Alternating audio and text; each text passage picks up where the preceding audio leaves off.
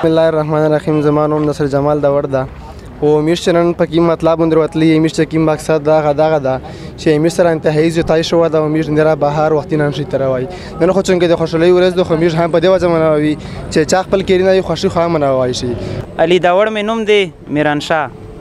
نو نن د خوشحالي ورځ ده مونږ هم غواړو چې دا خوشحالي منو کو خو مونږ یې نشو منولی ځکه چې خوشحالي اسوک منوي چې د چا خپل کور وي خپل ځای وي او زمونږ خپل کور نشته دا ملک محمد نور وزیرستان سره متعلق دی او د آی ډی پی مطالبه مونږ ډېر مطالبه دي غټه مطالبه مونږ دا د تمام وزیرستان د آی ډی پی والا چې مونږ دی هغه علاقه کلیئر شوې ده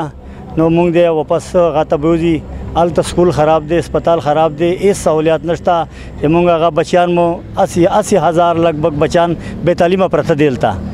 او دلته بنو کې ګرمي ده سخته ګرمي ده هغه خلک په ونو لاندې پرته دي نو ست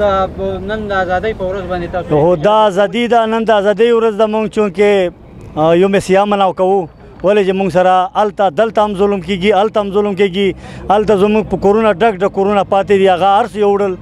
فوج فوج یو ډول هغه ارس یو ډول نه کړ لوټ مار شروع دی نو موږ دلته چې پرته یو نه کړ دینه چې خپل وطن تلاش زنده باد